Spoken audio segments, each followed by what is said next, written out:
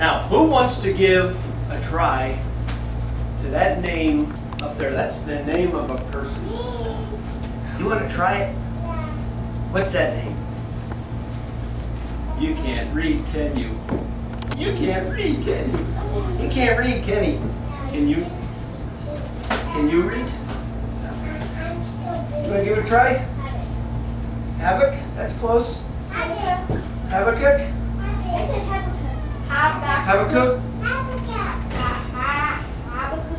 Habakkuk? Yeah, Okay. Habakkuk? It's gonna be Habakkuk. He had some weird names too.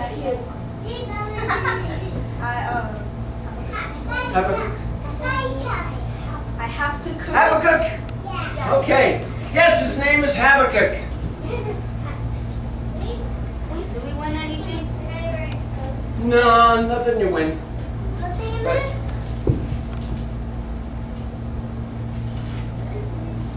Habakkuk was a prophet. Ooh, ooh. Habakkuk was a prophet. Habakkuk was a prophet.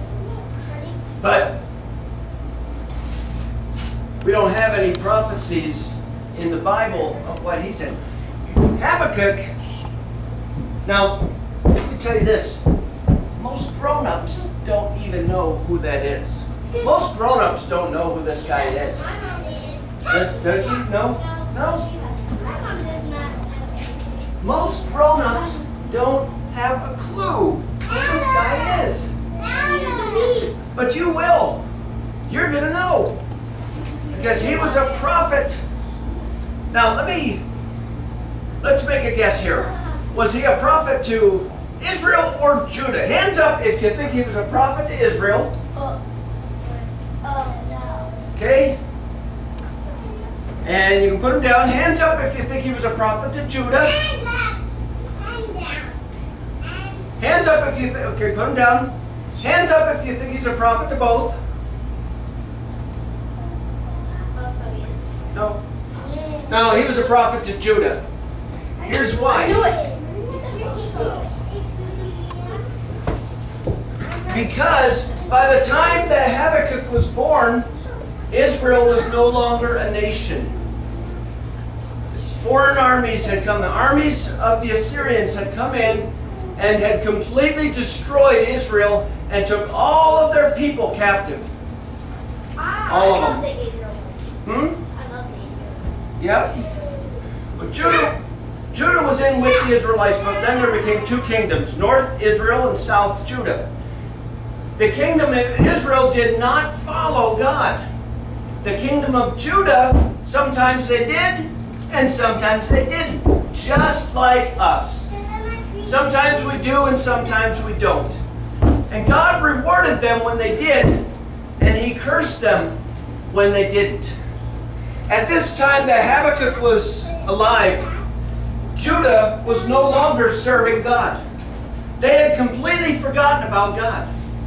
They didn't want any part of Him. That's like today, you know, they don't go to church, guys. Hands off. You do? Good. But a lot of people don't. And they don't want to know anything about the Bible. And that's how it was in that day with in Judah.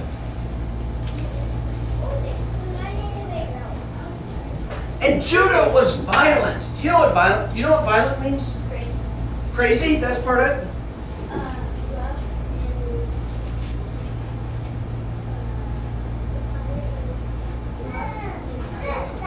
Yeah. Exactly. What do you think? Negative? What do you think?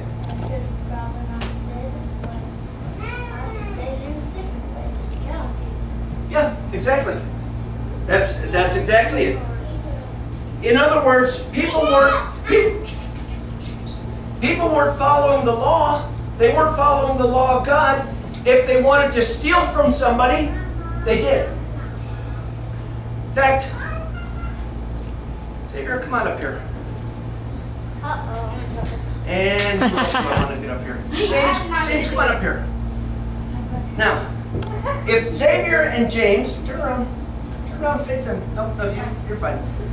If Xavier and James got into a fight, who do you think would win? James.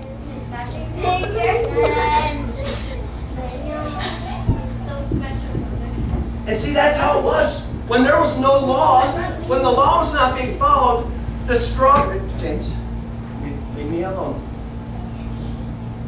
No, we don't. We don't allow that. The strong people would do whatever they wanted, and they would they would do violence to the to the weak.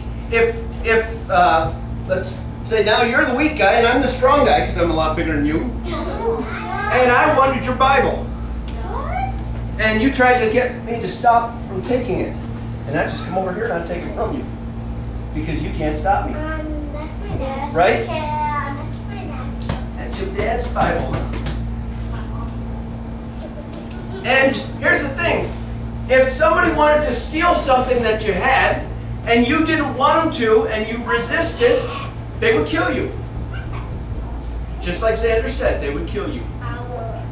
That's what it means by violence. And that's how it was in Israel.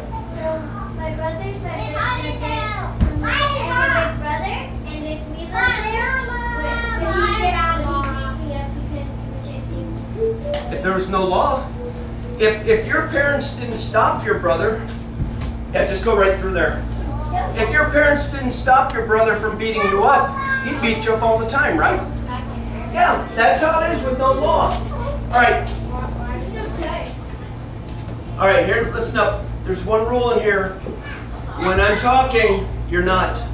Unless you're answering a question, and, or if you got a point in the lesson, if I'm talking, you're not. Okay, because there's been too much talking. You need to sit up, honey. All right, so, so here's Habakkuk. He's a prophet of God. He's a prophet of God. And so he likes what is right. He likes what is lawful. He likes what God likes. And he went to prayer to God and he said, God, why are so many people evil? God, why don't you do anything about it? There's so much violence here. What, are you going in the back? Oh, never mind. You're good. Why, why is there so much violence? Why are people hurting each other? People don't believe in God. They don't believe in God. Yeah. And see, but God, he was asking God, why are you allowing it? Don't you think that God could stop it at any time? Don't you think so? Yeah. And yet God doesn't. You see,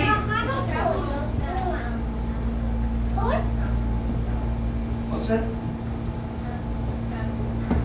He couldn't though. He couldn't. No, he couldn't stop it himself. You see, Habakkuk was saying, God, you're a holy God. Why aren't you doing anything about all the all the wrong things, all the evil that's going on in the world? Why aren't you doing anything about it? What do you think?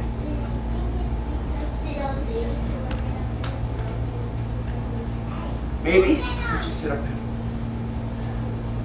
Let me ask you this.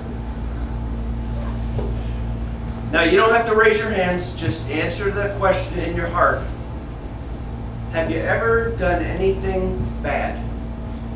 You don't have to raise your hand. You don't have to raise your hand. Huh? Of course, everybody has. Here's the question if you had a choice between getting punished for it now or getting a chance to do the right thing and make up for it, what would you rather have?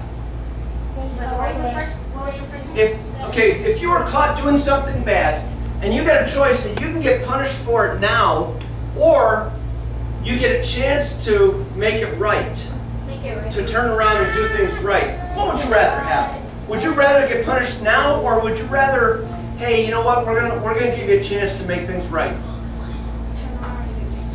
I think everybody thinks that way, right? Would, would any, raise your hand if you'd rather get punished now. You'd rather get punished now? That's not what you said earlier. Well, well, now that I think about it, now I want I would rather not get punished at all. to get punished. I would rather, right, get a chance to do things right. What if you get hurt when you're Hmm? What if you get hurt when you're Yeah. But if you get punished now, then all your I would- I would much rather, if I got caught doing something wrong, I would much rather have a chance to make it right. All right? And see, that's what God does. That is called.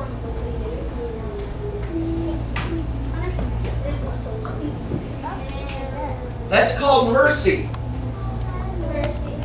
You see, what Habakkuk didn't realize, or he did, but it was just kind of, you know, God, why aren't you doing anything about it? Well, God is a God of mercy. He gives us a second chance. He gives us a third chance. He gives us a fourth chance. You see, because God knows your heart. He knows whether you're going to turn around or not. He knows in advance whether you really love Him or not. Then eventually we will give you any more chances. Eventually, you run out of chances, and then judgment happens. And that's not a good thing. Judah was coming quickly to that point where judgment was about to happen. You see, he gave them chance after chance after Israel had already been judged. Israel blew it. They, they had a chance to turn around. God gave them hundreds of years to turn around, and they failed. They didn't do it. They had about 250 years to turn around. You know, our country isn't even 250 years old. Not yet. It's like How old? Oh, Two, 245. hi. It'll be 245 years old next month. Our country. What? That's older than Brother Farr. For those of you who know Brother Farr. Larry Larry Farr. He's, he's an elderly gentleman right now. He just had his 85th birthday. I've known him, I've known him for almost 30 years. He's a wonderful man. He's the But candy here, man. God knows if we'll turn around or not. Israel would not turn around. Judah still had a chance. But they were quickly rejecting God. And they were bound for trouble. And God showed Habakkuk that an army from Babylon was going to come and was going to take them all captive because they were not following God's uh, rules. So what do they do? They turn around and then But here's here's the thing. Chew on this for a while. Babylon was the country that God was going to use to judge Judah. But they were worse than the people of Judah. They were even more wicked than Judah was. Why would God do that? Why would God do that? My answer to you is I don't know. I really don't know why God does that. But you know, God knows. He is righteous. Do you know what that means that he's righteous? What does it mean? Huh? What, what does it mean? You forgot. Well, righteous means that you're right. That you're right. You do everything right. That's what it means.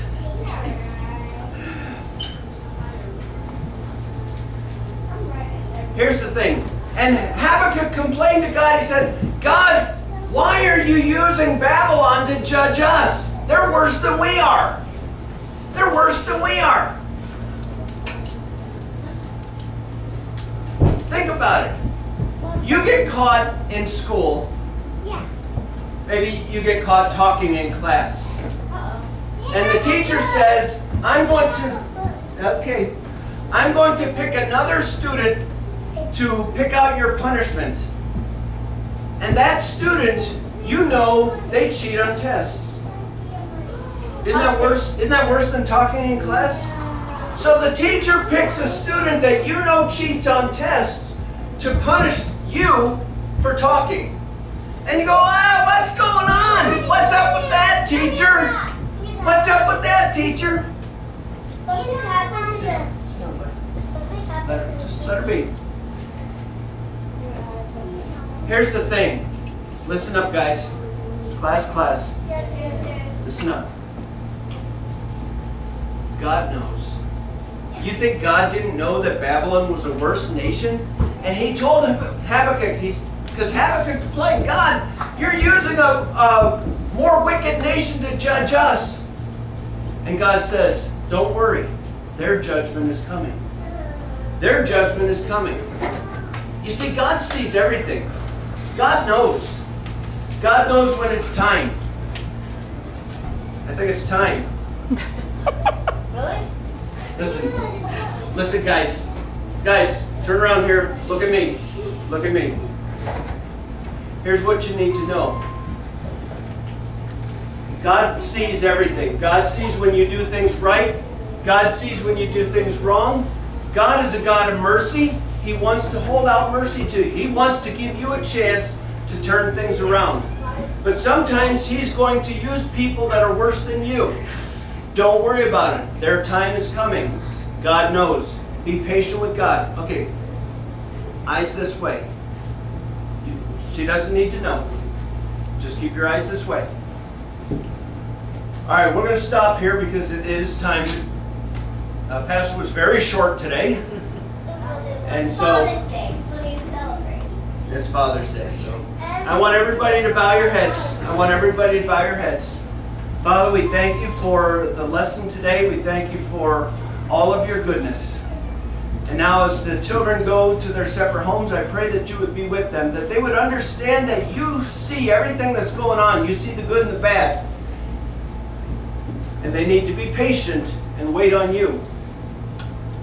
Help them to see your mercy that you extend, that you're always willing to give them a chance to turn around. And we give you all the praise and glory today in Jesus' name. Amen. All right.